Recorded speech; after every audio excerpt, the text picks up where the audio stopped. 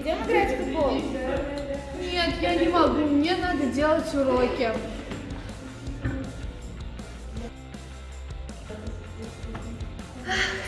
Сейчас бы футбол погонять, а не уроки делать.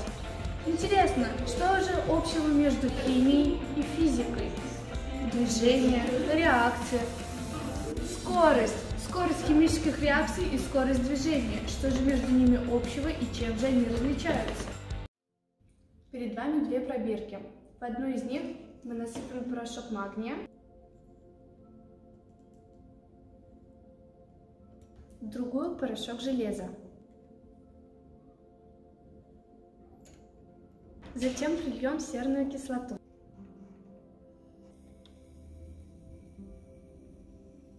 Мы видим, что в пробирке с магнием водород выделяется быстрее. С чем же это связано?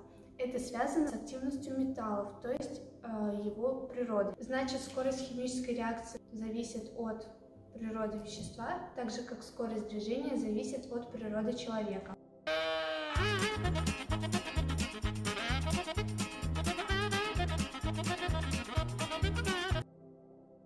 В две пробирки нальем серную кислоту.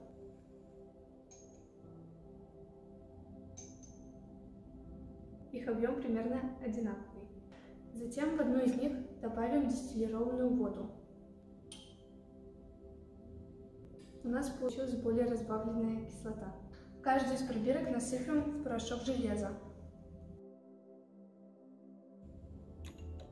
В пробирке с разбавленной серной кислотой реакция протекает медленнее, чем в концентрированной. Значит, чем выше концентрация вещества, тем выше скорость химической реакции.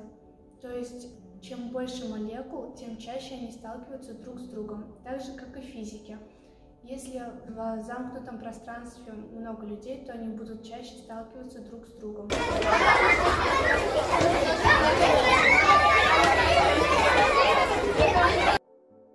Для третьего опыта возьмем два кусочка мрамора одинакового размера.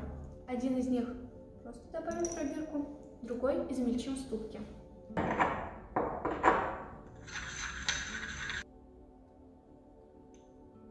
Затем в каждую из них прольем серную кислоту. В пробирке с измельченным порошком выделение углекислого газа протекает более бурно. Чем мельче вещество, тем выше скорость химической реакции. Это связано с тем, что при измельчении площадь соприкосновения веществ увеличивается.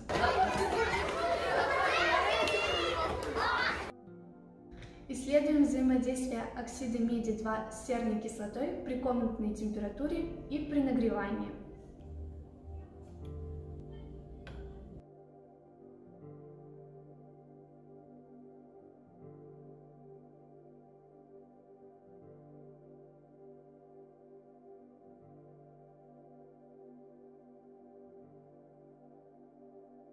Химическая реакция протекает в обеих пробирках, но при нагревании реакция протекает быстрее.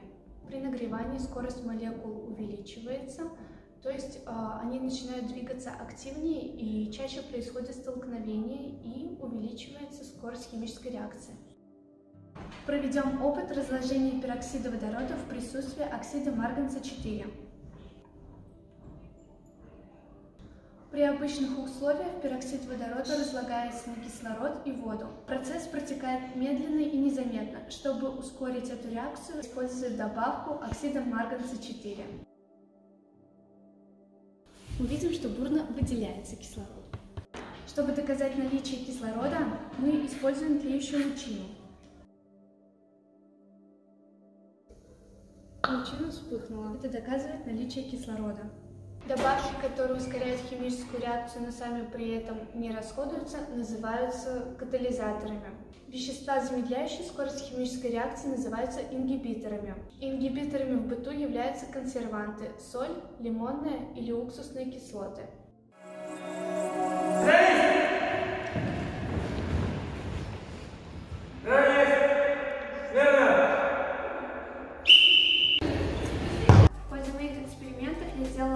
вывод, что скорость движения и скорость химических реакций во многом похожи друг на друга. Но есть моменты, в которых они отличаются.